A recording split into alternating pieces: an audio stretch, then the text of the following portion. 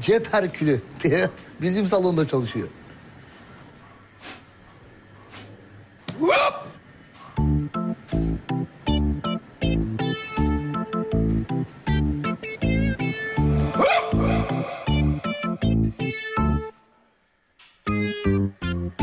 Ya Naim abi sende ne yetenek varmış ya?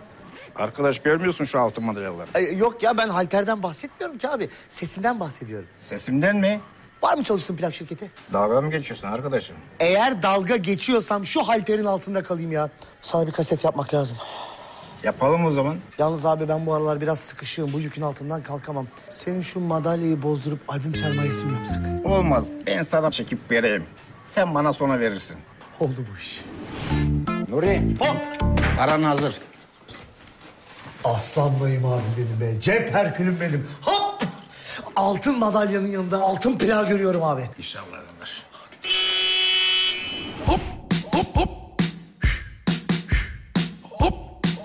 Ay yıldızlı mayosuyla. Naim Süleymanoğlu. %50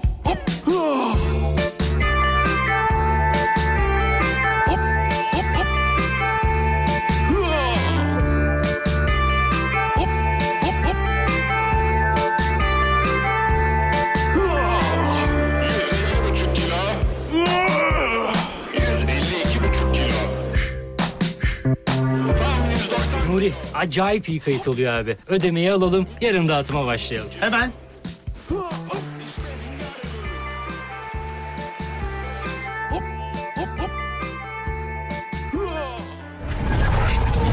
Vay aslanlayım abim be. Cep Herkülüm. Hop! Altın madalyanın yanında altın plağı görüyorum abi. Nuri para nerede? Karışmış. Galiba çanta karışmış.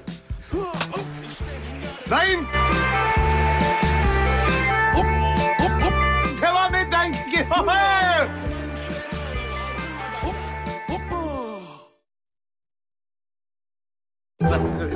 Adam, Naim Süleymanoğlu. Sakla beni, sakla beni. Hakikaten ya. Sen niye saklanıyorsun oğlum? Be- be- benim ona biraz borcum var da. Ne? Ya bir insan Naim Süleymanoğlu'na nasıl borçlanabilir ya? O, uzun bir hikaye. Anam gördü. Nuri.